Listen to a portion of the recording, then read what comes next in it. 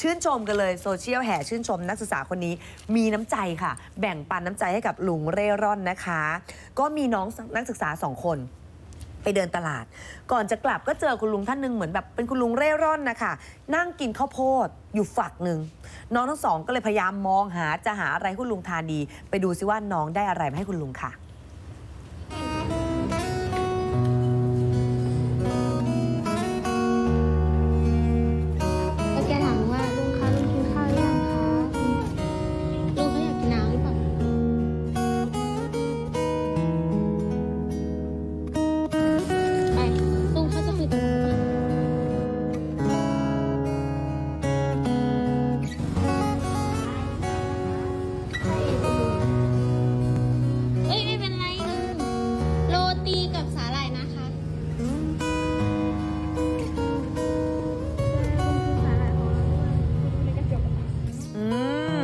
ฟูไหมล่ะคุณผู้ชม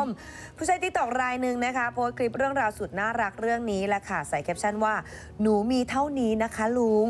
โพสต์กับเพื่อนค่ะ ซึ่งเป็นนักศึกษาเขาเดินกันมา 2 คนเนี่ยกำลังจะกลับหอพักละ ระหว่างมานะคะเดินตลาดศิริวัฒนากาดธานินทร์ ถนนช้างเผือกตำบลช้างเผือกอำเภอเมืองเชียงใหม่จังหวัดเชียงใหม่นะเจ้า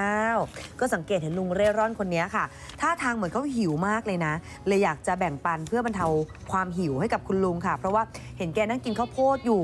ก็เลยอยากหาอะไรให้กินเพิ่ม แต่ตอนนั้นที่เดินหานะคะเจอแค่สาหร่าย 2 อัน แล้วก็มองไปมองมาเหมือนถ้าถ้ามองเหมือนตลาดมันเริ่มวายแล้วอะเนาะค่ะร้านค้าปิดหมดละไปเจอร้านโรตีค่ะ ก็เลยไปซื้อโรตีให้คุณลุงอีกหนึ่งอย่าง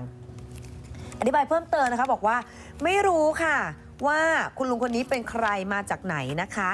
แล้วก็เห็นว่าตัวผอมมากเลยเป็นลุงคนชราค่ะ มีแผลเป็นที่เท้าด้วย นั่งกินข้าวโพดอยู่ฝักหนึ่งอยู่ตลาดตอนกลางคืนนี่แหละ ก็เลยอยากจะหาอะไรให้คุณลุงเนี่ยนะคะ ได้กินเพิ่มค่ะ แม้ว่ามันจะไม่มากมายนะคะ แต่ว่าอย่างน้อยก็ให้คุณลุงได้กินอย่างอื่นด้วย นอกจากข้าวโพดฝักนั้นค่ะ แต่ตอนนั้นอย่างที่เล่าให้ฟังเนี่ยน้องพยายามเดินและพยายามถ่ายคลิปเห็นไหมเดินหา ร้านค้าปิดหมดแล้วคุณผู้ชมนะคะ เจอร้านโรตี แล้วก็มีขนมสาหร่ายนะคะ ก็เลยคิดว่าถึงแม้เป็นของเล็กๆ น้อยๆ แต่ก็อยากให้คุณลุงดีใจนะคะ พอเอาไปให้ปุ๊บตอนแรกน้อง นึกว่าคุณลุงจะกลัวจะรับหรือเปล่าอ่าแต่พอไปถึงคุณลุงยกมือไหว้โอ้น้องตกใจไม่เป็นไรคุณลุงไม่เป็นไรเอาไปทานเถอะค่ะก็คิดอยู่ในใจว่าไปแอบดู ให้ไปแล้วคุณลุงจะทานหรือเปล่าอืมแอบมามองส่องไกลๆ พอเดินผ่านมาเท่านั้นแหละคุณลุงเอาสาหร่ายขึ้นมาแกะ จะกินต่อ